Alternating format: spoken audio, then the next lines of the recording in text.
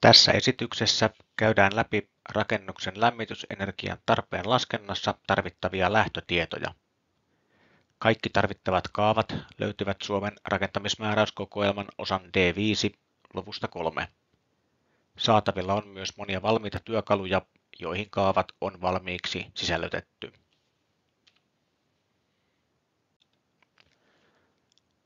Rakennuksen lämmitysenergian tarve koostuu käytännössä kolmesta eri osatekijästä. Tilojen lämmitystarpeesta, ilmanvaihdon lämmitystarpeesta ja käyttöveden lämmitystarpeesta.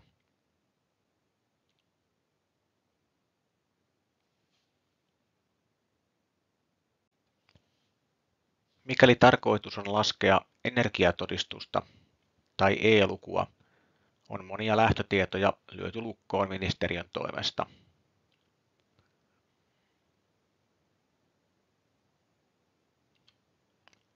Ulkoilman olosuhteet, sisäilman lämpötila, ilmanvaihdon määrä, rakennuksen käyttöajat ja lämpimän käyttöveden kulutus on taulukoitu. Virallisia laskelmia tehtäessä näillä arvoilla olisi näin turhan helppo manipuloida lopputulosta. Jo sisälämpötilan alentaminen muutamalla asteella vaikuttaa dramaattisesti lopputuloksiin.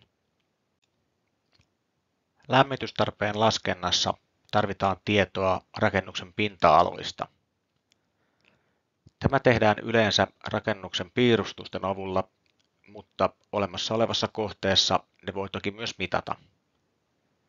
Tärkeää on muistaa, että rakennuksen vaipan pinta-alat määritellään sisämittojen mukaan. Nurkat ja liitokset käsitellään kylmäsiltoina.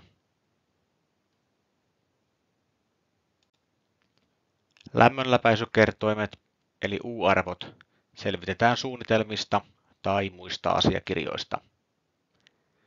Vanhoissa rakennuksissa näitä asiakirjoja ei ole aina tallella – Tällöin voidaan käyttää tilastoihin perustuvia arvoja.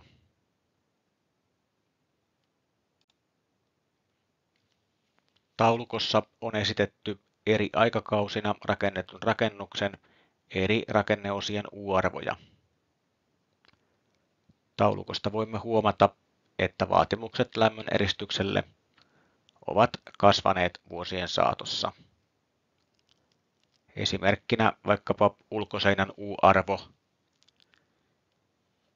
jossa voimme havaita selkeän pienennyksen U-arvossa.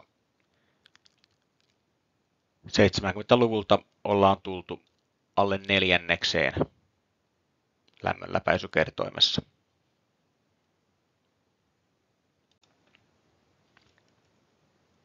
Rakenteiden väliset liitokset lasketaan kylmäsiltoina.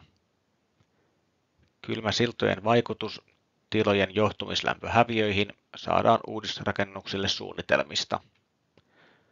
Olemassa oleville rakennuksille kylmäsiltojen vaikutus voidaan arvioida yksinkertaistetusti lisäämällä 10 prosenttia tilojen johtumislämpöhäviöön. Mikäli tarvittavat lähtötiedot ovat tiedossa, voidaan vaikutus ottaa huomioon myös tarkemmalla laskennalla. Kylmäsillalla tarkoitetaan viivamaista kohtaa rakenteessa, jossa lämpöhäviö oleellisesti suurenee. Tämä suuruus riippuu siitä, millaiset rakenteet liittyvät toisiinsa. Taulukko 3.1 esittää muutamia käyttökelpoisia lukuja. Jos esimerkiksi tarkastelemme ulkoseinän ja yläpohjan liitosta eri materiaaleilla voimme todeta, että puurakenteisen seinän ja puurakenteisen yläpohjan välinen rakenneliitos saa arvon 0,05, kun taas betonirakenteisessa rakennuksessa kyseinen arvo on huomattavasti suurempi moninkertainen.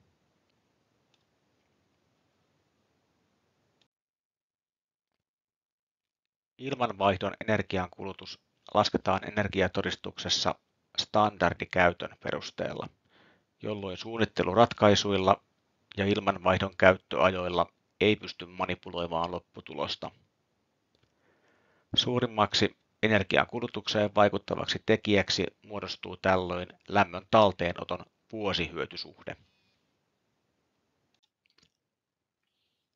Taulukon mukaisia ilmavirtoja tulee käyttää riippuen laskettavana olevan rakennuksen tyypistä.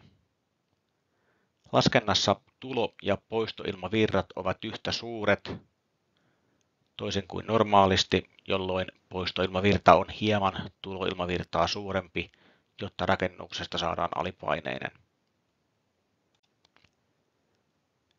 Mikäli ilmanvaihtokoneen lämmön talteenoton vuosihyötysuhde ei ole tiedossa, voidaan tässäkin turvautua tilastollisiin arvoihin.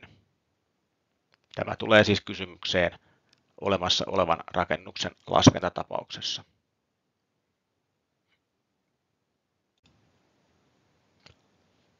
Tilojen vuotoilman lämpöenergian kulutuksen laskenta perustuu rakennuksen tai sen osan ilmanpitävyyteen.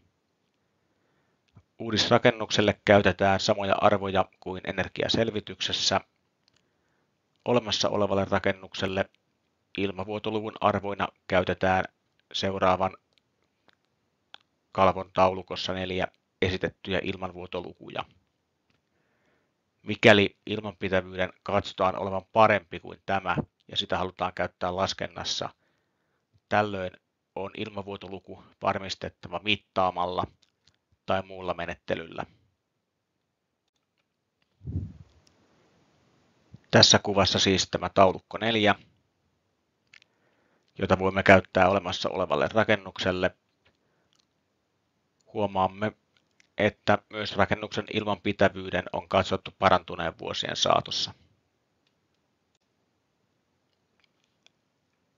Lämmin käyttövesi on energialaskennassa monella tapaa poikkeuksellinen. Tuotantoon käytetään sinänsä lämpöenergiaa, mutta tämä energia ei ole millään tavoin riippuvainen ilmastosta, vaan se oletetaan laskennassa yhtä suureksi vuoden ajasta riippumatta. Lämpimän käyttöveden tarvitsevan energian pohjana on käyttöveden kulutus. Eri rakennustyypeille on määritelty ominaiskulutus, jonka perusteella laskelma tehdään.